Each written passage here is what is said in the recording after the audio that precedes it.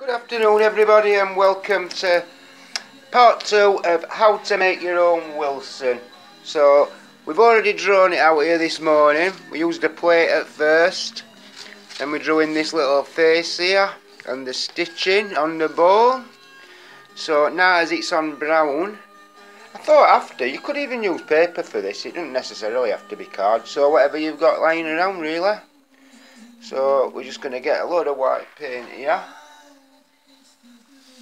and get some of that onto our football here.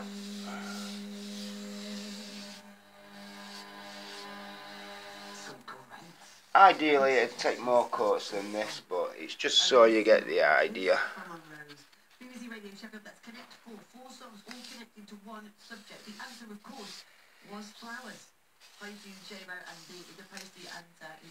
Radio Four. Four songs all one was flowers. Uh, with your song suggestions, please, uh, all about flowers. White always takes more coats, so we're going to be able to see these lines to go over them again after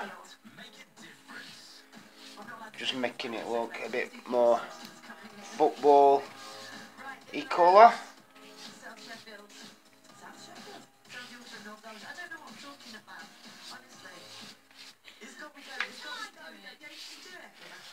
So simply cover your shape there in white if you've not used white card or paper to start with.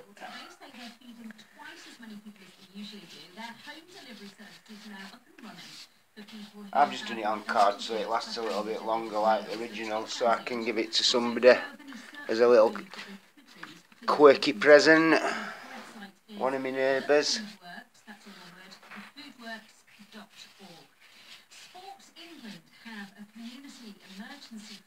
So our local smaller sports clubs can get oh, there we go. Then I've got some brown paint or burnt sienna as if you want to call it that as the professionals call it.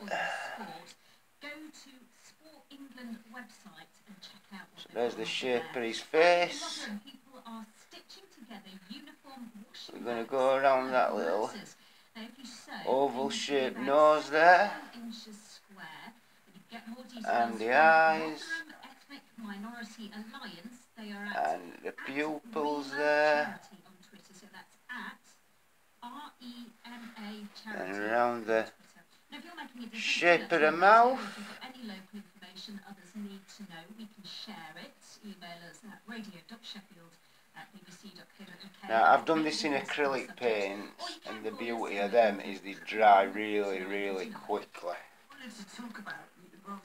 So I'm then going to go over this stitching again with a pencil or a pen, whatever you've got.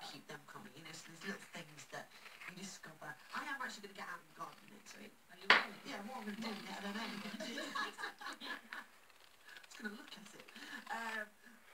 I wanted to know about people's calamities that have happened. Well, I know you've got one. I, I, well, this is a bit of a delicate subject because I actually haven't told my brother-in-law. So, Adrian, um, and then. And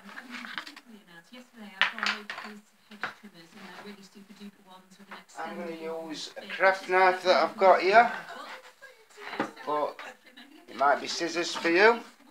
we've got two Wilsons now.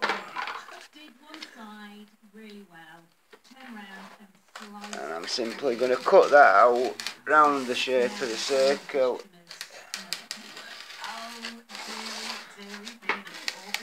Like so.